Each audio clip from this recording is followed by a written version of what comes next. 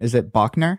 It's Beckner. Beckner. Okay. Yeah, Right. but it doesn't look like. There's no reason for anyone to assume the right pronunciation of that last It name. was a trick O.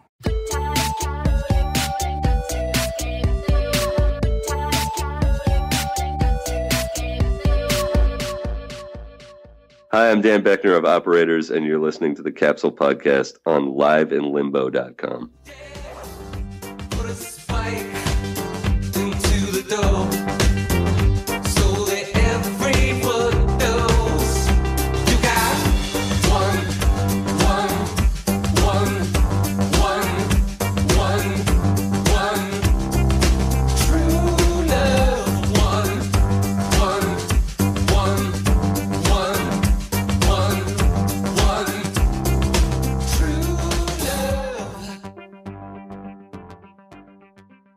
This is Capsule on liveinlimbo.com.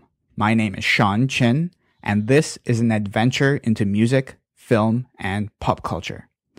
Dan Boeckner is the lead singer of Operators, a Montreal electro rock group that emerged at last year's Canadian Music Week. This is a band you definitely need to keep your eyes on. And you may know Dan from past groups such as Wolf Parade, Handsome Furs, and Divine Fits. Dan, it's a pleasure for you to be here today. How's it going? Good. How are you? I'm awesome. Good. So I think I've seen you many times over the years in different groups. So let's see. Okay. So in 2005, I saw you guys uh, Wow. with Wolf Parade in at the Danforth Music Hall with Arcade Fire. yeah, that's right. Then and then I saw you again at Massey Hall with uh, Handsome Furs in 2007. Also with Arcade Fire. That yeah, that's also Yeah. with Arcade Fire. So you have a history with them, but Yeah. So that first time I saw you at the Danforth Music Hall in 2005, that's what? That's 10 years ago now. You're still Yeah. alive. I'm still alive. So that's good. Still still alive. Yeah.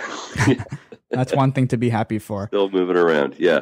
True. So, so before we get into your new project, what is that like? So when you look back, it's probably longer than 10 years in total, but as a group and doing all these different things as a group over the years with different groups, how is that? Uh, it's it's interesting. I mean, I guess it's been it's it's been ten years since uh music has been my my day job. You know, um, I get I started playing music when I was a teenager, uh, and then and then really tried to focus on it. You know, in my early twenties and. Uh, but I always had, you know, I was in school and I had a job, and then I moved to Montreal and I had a string of terrible, terrible jobs. Uh, and then around 2005 when when apologies to the queen mary the first wolf parade record came out i i sort of untethered myself from from those jobs and really uh and really just tried to make a go of it you know uh purely with music and it was it was scary so looking back on it i don't know i mean i i feel like i've been pretty lucky to be able to to do what i like for a living you know for for a decade now So it's interesting because I can't, off the top of my head, I cannot think of a single like lead singer that's been a part of so many top quality, critically acclaimed groups. Can you? I, I don't know. I mean, I, uh, Jack White, maybe. He's yeah, maybe of- Jack White. Yes. Jack White. I'm trying to think of uh, trying to think of anyone else. No, and it's it's it's a rare thing, and well, so Spencer, Spencer from Wolf Parade, Oh, yeah, yeah. has uh, has had a bunch of different bands. You know, Swan Lake and Moonface, Sunset Rubdown. that's right. Yeah. I think we uh, I think we share a similar uh, approach to to the creative process and like how we how we uh, how we roll out bands. You know. So some will say that's a great thing because Mm-hmm. you get to do so many different types of music and you don't have to focus on one. But some may say it's a bad thing. What do you think? Like, do you think, like, for example, you can't stay with one and just grow that only? Or do you, act, like, as a person, you like the ability to be part of different groups at different times? And whenever you feel like it, you can just do something else? I like I like the ability to be part of different groups at different times. I mean, I think for me, I and I think a lot of it goes back to uh, the fact that I that I did have a long history in like uh, sort of low level, you know, either I worked in an office building for a while, but I also did like low level kind of manual labor jobs and worked in the service industry. And one thing I decided when I when I stopped working those jobs was that I would uh, I would always be doing something. I would always have a project because the way uh, when you're in a band, the way the touring cycle and the album cycle goes, there's a lot of downtime. You know, you make a record, you wait around, uh, you stop writing for a while and start doing press, and then you tour, and then you come off a tour, and uh, ostensibly you're supposed to, you know, write again, and then. I, I don't like that. I like being busy. You know, I like. now that's your personality type, then. Yeah. I, th- I think it's my personality type, but I also th- I think I think it's positive in the way that you know I'm never uh, I'm never bored, but uh, it might you know there's a there's a danger of maybe burning yourself out. I, I haven't really hit that wall yet, though. I was talking with a friend recently about this. I'm kind of like you as well. I like working on different projects all over the place, but it's a we we kind of agreed that it was a type of ADD, but we're going to call it a positive ADD because you're doing something proactive in those different subject matters. I think I think that's a huge call. Yeah, I think it's a sort of a long focus ADD. You know, Yeah. It's like like the timeline on the on the attention deficit disorder is is a little longer than a momentary thing. And yeah, I think the worst, uh, or not the worst, but I remember there was one point in my in my career where I thought, okay, maybe this is insane. You know, what I'm what I'm doing was uh 2009 i think i played in i finished a wolf parade tour in los angeles and uh immediately following the show like as soon as we finished i put my guitar down grabbed a different guitar that i was going to take on tour in asia uh, got in a cab went to the airport and flew to hong kong to start a handsome furs tour that was about a month and a half so on the plane i thought this is this is nuts like i but then when i got to when i got to hong kong i was like this is the best job in the world so I, I I watched an interview you did when you were with uh, Divine Fits, and I think that was Singapore. Um, And so you Divine Fits. you seem to really like the the Asian market. What what about Asia do you like? Um, well, I like the diversity of, of the Asian market. You know, like uh, every every country is is completely different in terms of what uh, people are interested in and how developed the touring circuit is. Uh, Singapore has a reputation for being pretty, you know, buttoned down and uh, conservative. The Yeah. audiences are maybe conservative. The level of the volume coming off the stage is mandated by the government to be conservative. But I've always really liked playing in Singapore, so I, I, find you know people people actually cut loose there more than uh, more than maybe is is talked about. I and I love touring China. I love touring China because it's uh, it's just an open. It seems like it's anyone's game. You know, it kind of reminds Beijing kind of reminds me of New York. What I imagine New York was like in the late seventies. When was the Uh, last time you were there in China? Uh, it was. It's been a while. It's been 2011. I think was the last time I was in. I was I was in China. I think it's interesting because those uh, third world or developing countries, like every single year, it's like totally different. Like the streets are different. It's just constantly developing. Yeah, yeah. Actually, the the last time I played in New York a couple weeks ago, uh, my friend Lydia, uh, who's Chinese, she she used to work with the promoter that I worked with in Beijing. Uh, she's like Beijinger, born and raised. I asked her what what Beijing was like, and she said the entire city is is completely different.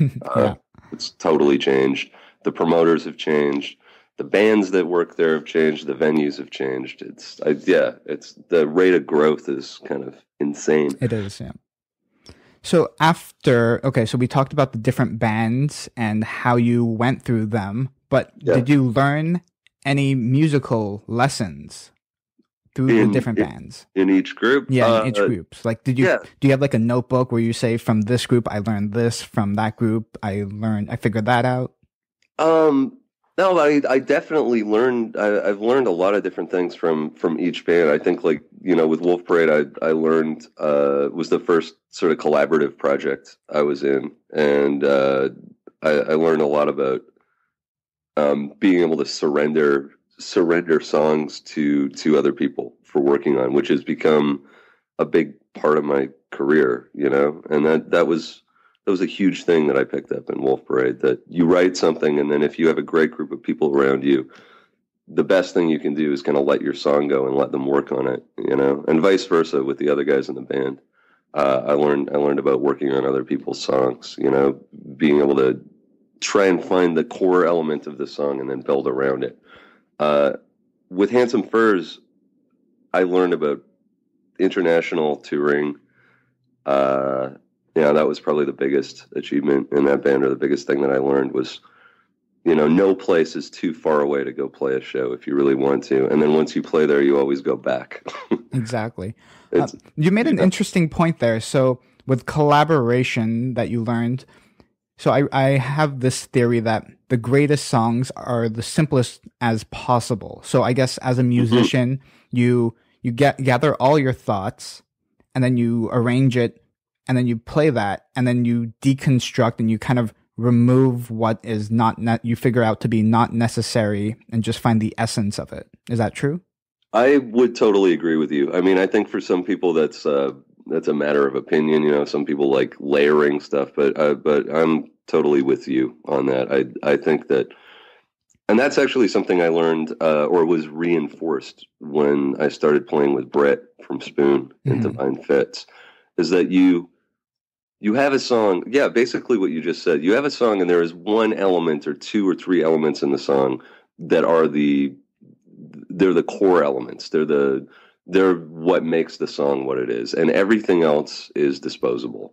You can get rid of pretty much everything except for you know, say a bass uh, line, a kick drum, and and a tambourine and a vocal melody. Just strip it all away, and you still have a. If you still have a good song, then it's you know it's ready to go. So let's talk about operators now, your brand new project. Um, so I'm going to say, after listening to EP1, that it sounds like an electronic dance version of Arcade Fire plus St. Lucia. Have you heard of St. Lucia before? I have not heard of Saint Lucia. What's Saint Lucia? It's going to, he's like tropical dance rock. That actually sounds pretty good to me. Yeah, you should check him out. Yeah, we've had Yeah. him on the show before as well.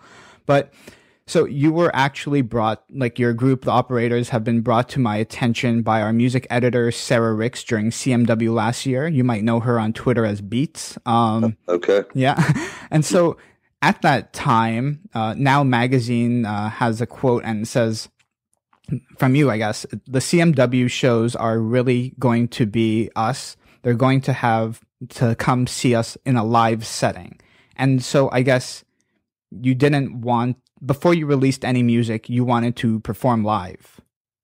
Yeah, yeah. I mean, I, I think that uh, you know it's very easy to to to release content right now on on the internet. Um, just releasing content is is you know any anybody can do it, and you can do it quickly, and you can disseminate it pretty pretty far.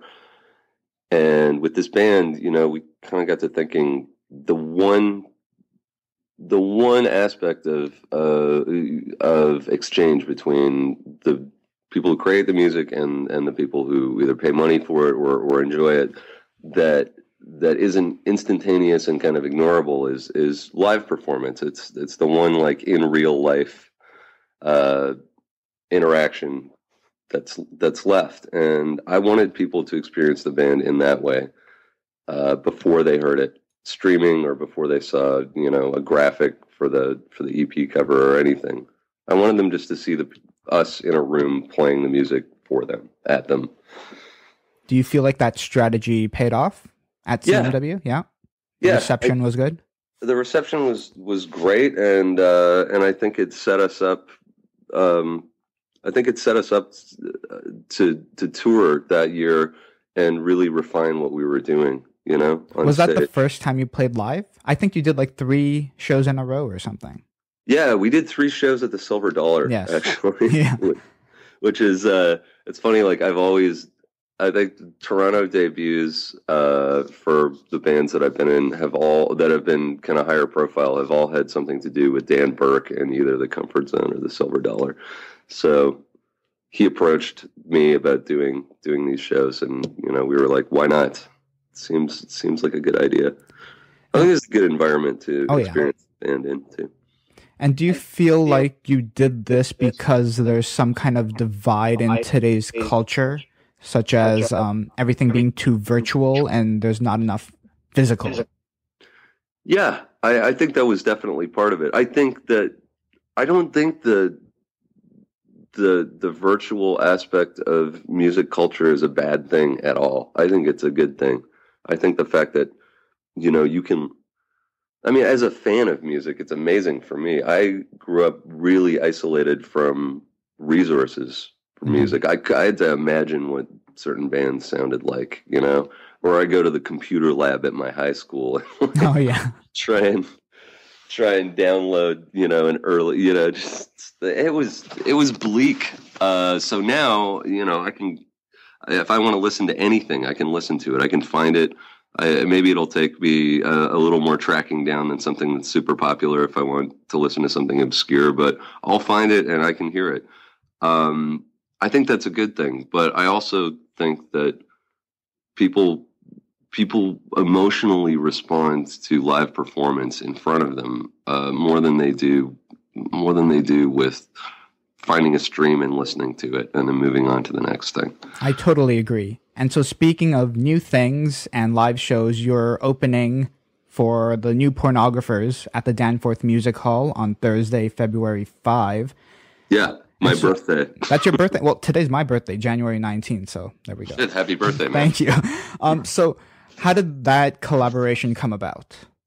Well, uh, we're on the same record label. Uh, we're both like Operators is on Last Gang in Canada. Uh, New Pornographers is on Last Mhm. Gang, and that, I've always been a really big fan of that band ever since their first. Their first record was actually the soundtrack for a lot of the first Wolf Parade tours. Oh, it was really? the it was the one thing that we could all you know agree on that we liked that we could listen to.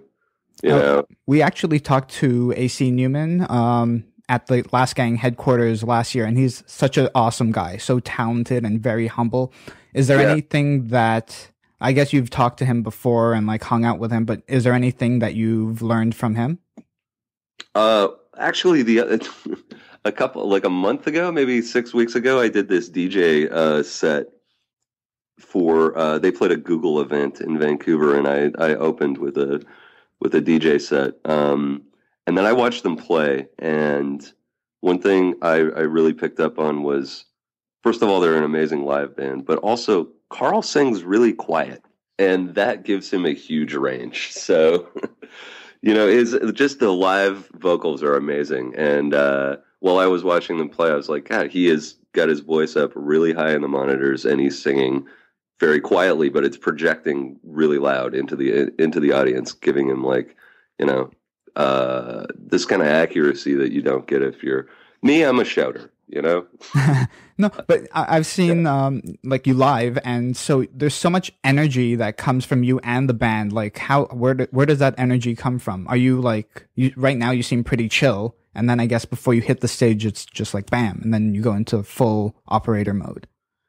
Yeah, I think I think I have a lot of um uh, uh, you know, I'll be honest, man. I I think I have a lot of pent up uh pent up anger and emotion and uh playing music and, and not that it comes out negatively on stage, but playing music for me, whatever mood I'm in is is my equivalent of a combination of meditation and therapy, you know? It uh it it allows me to just channel all this stuff and and also i think people deserve a full performance they don't deserve a half-assed performance they deserve the whole ass you know That's a great way to say it.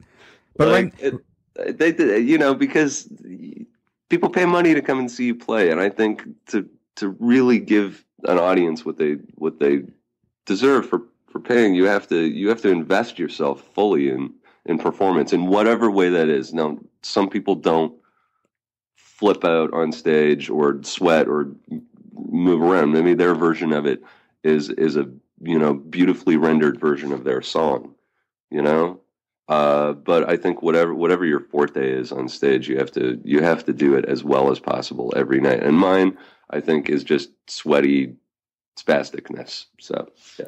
What happens to you in like many years, like five years from now, when you have like three albums maybe, and you have to play like a two-hour headlining set? What are you gonna do? Huh, that's a that's a good question. um, well, uh, you know, there'll probably be some theater interludes while I go backstage and hit the oxygen tank um, and get changed. Uh, costume changes, maybe. I don't know. Take don't it know. one step at a time, then. One step at a time. Yeah. So your album EP1 is out now. We want all of our listeners to download that on iTunes or vinyl. You have that on vinyl, right? Yeah, it Yeah. just came out on vinyl a couple weeks ago. Sweet. That's awesome. And so my favorite track from it is True. It's incredibly catchy, yet very hypnotic at the same time with a repetition. And what was what was the inspiration and goal of this song? Well, uh, I was in the studio and I just basically put together. I, we have analog drum machines and sequencers, and uh, I put together a beat that I that I liked and uh, and a bass line, you know, and I, I don't know. I, I started singing over it, and I spent a couple hours coming up with vocal melodies, and I just kind of went into a trance, and that's how I write vocals. And I came up with this this melody. Devojka came to the studio and uh, arranged it in in song format, you know. And we talked about having a chord change in the song, but eventually we were just like, screw it, one note, you know. I want to deconstruct it just a little. Yeah. so when you say when you say one, like the phrase one in the song, um, like in repetition, yeah, it's not too many times and it's not too few times. Like I guess you could have just said it once or twice, but like you you repeat it like I don't know how many times. I didn't count. Do you know how many times you say it? Like in the chorus? uh, I think it's six. Six. Okay, so Yeah, how did you? over eight bars? Yeah, Yes. and And- then True Love is the other uh, remaining two. Yeah. And so how do you? I guess. How do you pick how many times you say one? Because it's like I think it's the perfect amount. Thank you. Uh, I don't. You know, it's just whatever feels right. It's whatever whatever sounds right and feels right. Like I'm guessing in like the demo room you had one with like three times and one with like twelve times or something. I think we hit on the. I think we hit on it right away. I I I think. I think that song that was one of those songs that kind of write they they kind of write themselves sometimes, you know. They just uh, you you sort of end up being at the mercy of the song, and and everything just fits. And those are my favorite kind of songs to write. no, that's awesome. Um, what were some of your most listened to songs or albums from 2014 from other bands? Um, I listened to uh, I listened to this James Holden record a lot, The Inheritors. It's a instrumental record. He was like a when he was younger, he was a big. He made a big splash on the UK trance music scene. Um, he was a real oddball producer, and then he kind of went away for a while, started a record label, and came back uh, with this beautiful, crazy alien sounding record that's like live drums and some very weird modular synths that is kind of tangentially related to dance music, but really is something. It's a kind of music I've I've never really heard before. I, I can't I can't even tell you what genre it fits in. it's electronic and it's great. So that was really inspiring. Uh, I really liked the I really liked the Angel Olsen record. We Yes. listened we listened to that on tour uh, a little bit. Um, and then you know, operators our sound our sound guy uh, is this New York guy Devin who works at Baby's All Right, great club there. So I ended up revisiting a lot of uh, old East Coast hip hop from the late '90s because that's what he likes to listen to, Oh yeah, like who? like Wu Tang Clan Mm, yes. and Gang Starr and uh, you know stuff like that. Would you ever do a rap? I no, I don't think I could rap. I'm, I, you know, so maybe you I, can could- be part of Wolf Parade, all these different bands, but not do a rap. I would probably not do a rap, Oh, you know, because I would just think of, I would just think of that Rush song that came out in the late '90s, that Roll the Bones song with the rapping skeleton. You know, that nobody wants that. no one wants. Yeah, lots of. That's in like the demand right now. I do a spoken, I do spoken word. I Okay. do like a Marky Smith like fall style uh, spoken word thing over music for sure. But rap, no. Okay. Uh, so I guess the, the the people who can actually do it. I think that would be an insult to people who uh, leave them to yeah, leave them own to, their craft rapping. That's true. That's a good point. Yeah. I want to know did your parents have any influence on the music that you create today? Um, hmm, that's a good question. Yeah, I mean, I think my dad, uh, my dad, my dad had uh, at one time had really good taste in music, and then something happened in the late '80s where he just kind of went off the rails. I think he's back.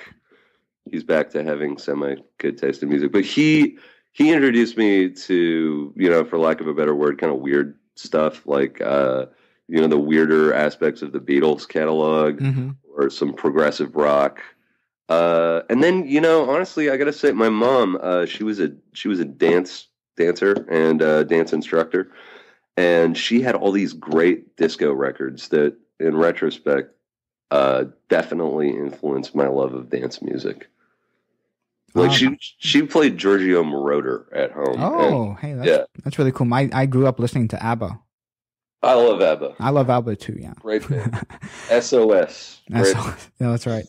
Um, do you think a sense? Well, for like your when you started at CMW, it was all kind of like the presence of your band was not totally online yet, and you had all these cryptic graphics and stuff like that. Do you think a sense of mystery is an important thing for an artist to have today?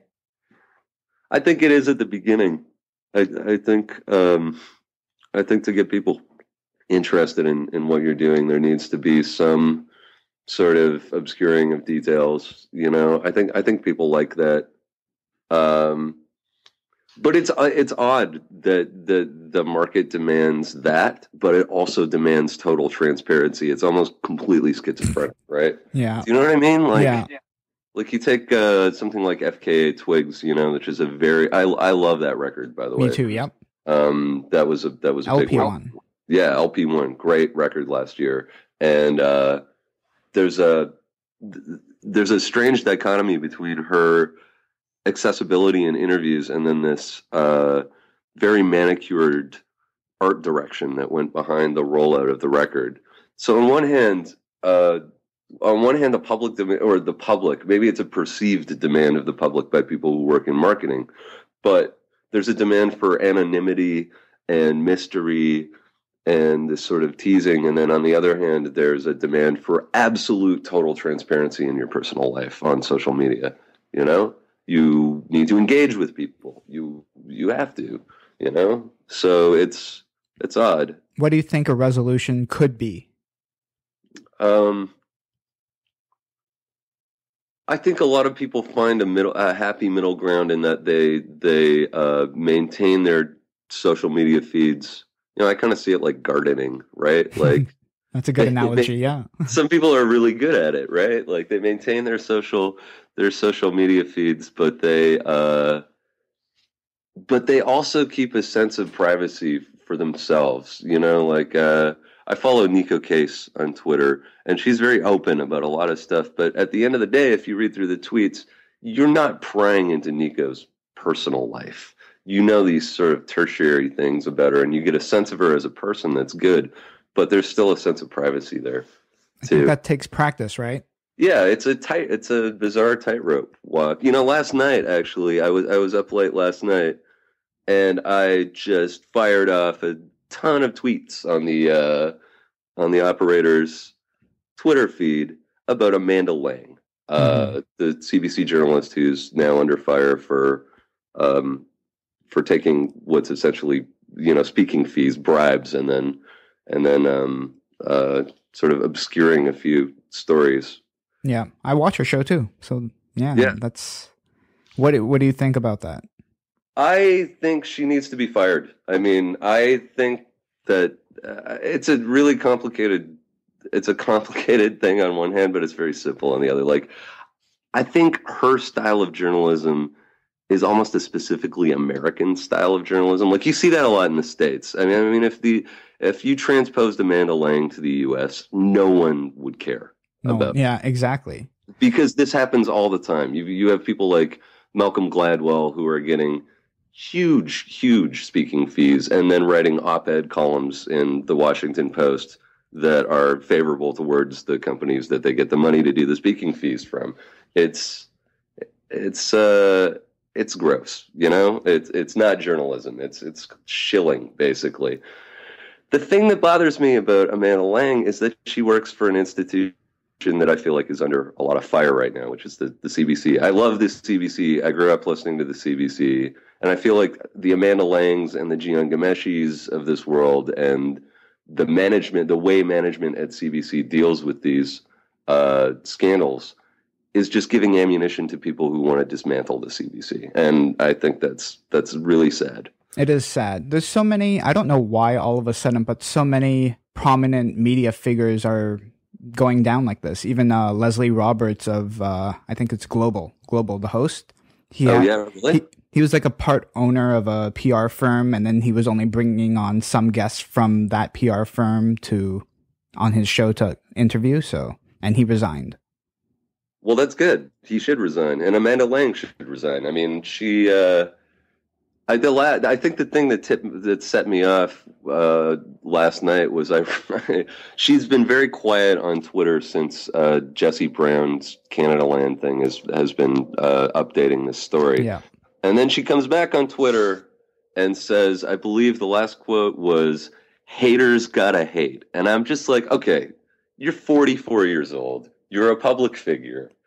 That is, there's no need, like, no, it's not haters gotta hate. It's, uh, you took money from RBC and positively spinned a bunch of pretty shady stuff that they were doing, you know? I totally agree. I think it's really bad too because I I love the CBC as well. It's our public broadcasting uh, feature, like our station, and to see so many people, prominent people there, being taken down like that, or well, I guess it's their own undoing, but I don't know.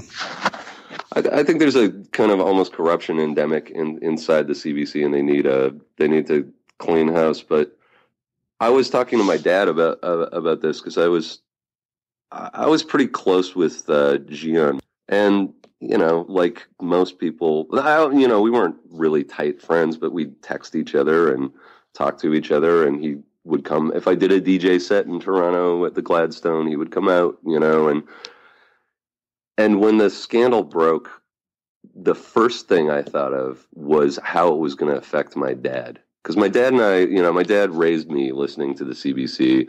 And I think out of anything I've done musically, the thing that was most impressive to my father was was the fact that I'd been on the Q four times. Oh, yeah. Twice with twice with the Furs, once with Wolf Parade, and once with Divine Fits. So when this when the news of it broke, uh, that was the first thing I thought of my dad and Couch and like you know he, t- he every time I was on the radio on the Q he'd tell all of his friends you know I I talked to him for a couple hours about it. I, I gave Jian my dad's number at one point because my dad wanted to ask him a bunch of questions about working at the CBC, and I I was you know I was devastated on behalf of my dad. So that that was a major letdown for me, and the and the way that the CBC handled it was yeah it was disappointing. You know. It was very disappointing. As a fellow broadcaster, I looked up to him, Jian, as a like this idol type of broadcaster, and to see this, it was it was pretty heartbreaking, actually. Yeah. The, the question is where, like, uh, what's our exit strategy as as Canadians, like, as you as a journalist, or me as somebody who uh, interacts with the media uh, for a living, basically. You know, my Yeah. my job. Uh, like, what do we do now? What do we do about the CBC? Do we do we you know burn it down as this rotten institution, or do we try and get new people who are ethically sound? uh, working there and build it back up to to the heights it was in the 70s you know when they were producing great content I think it's a combination of both. We def they definitely need to restructure their whole executive and management uh, lines all the way down from top to bottom. But I also, because the CBC is like they're a public broadcasting company, right? So, Mhm.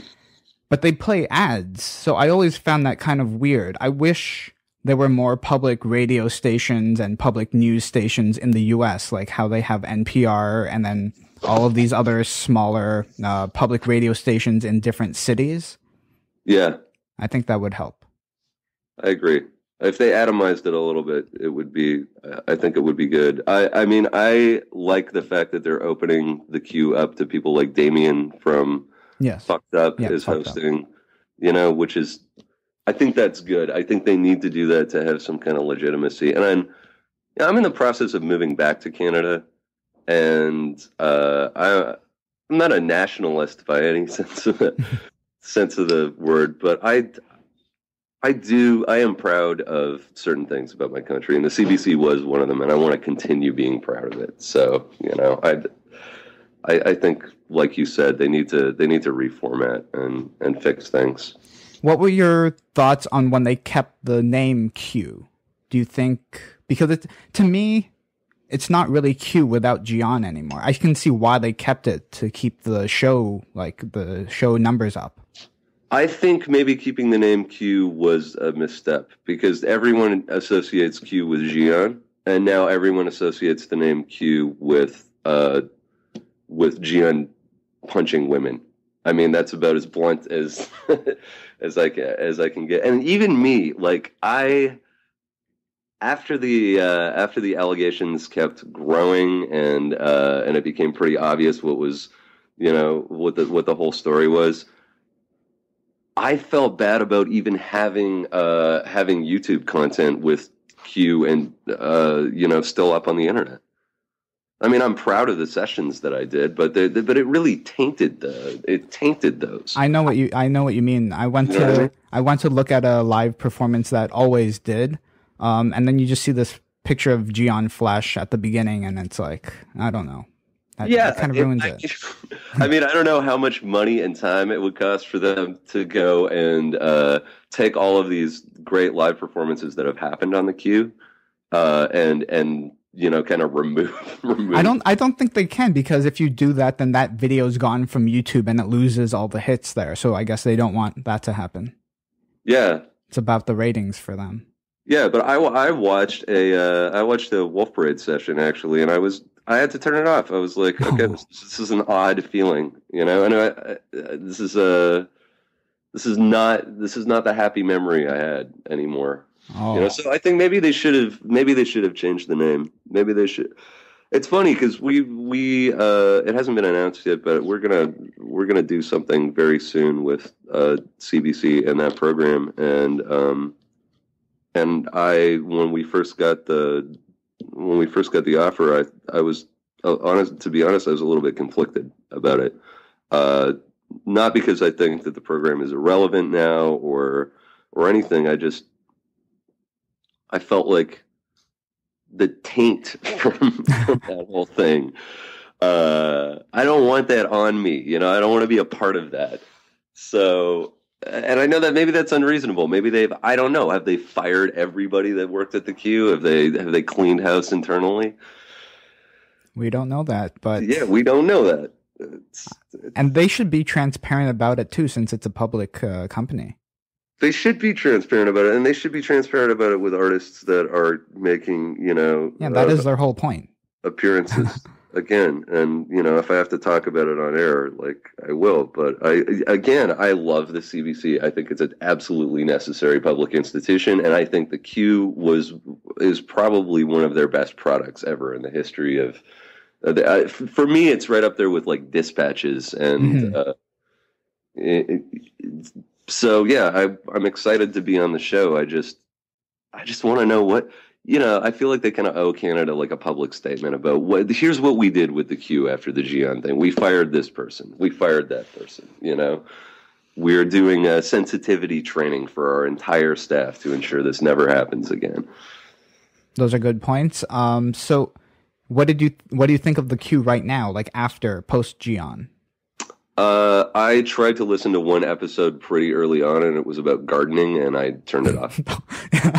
Remember that. I did that as well. But I, I was just, I it just, I mean, and I, I'm not. what is this?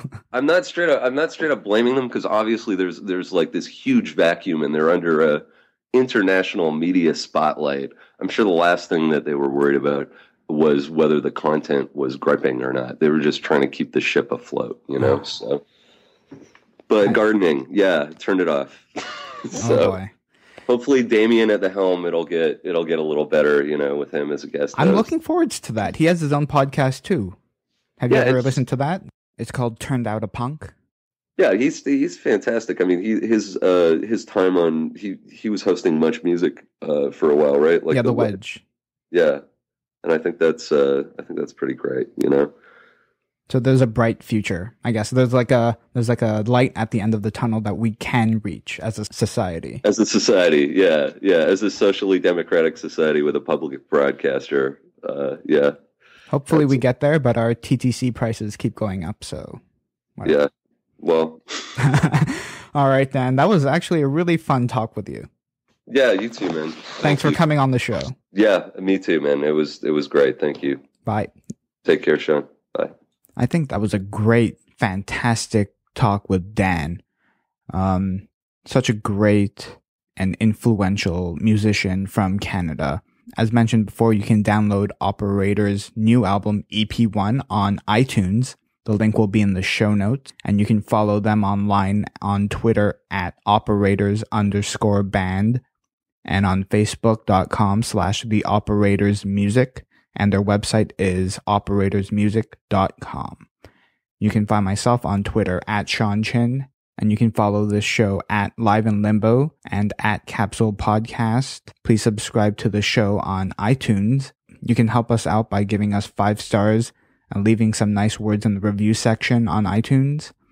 And of course, you can find the show notes at liveinlimbo.com slash capsule. Take care.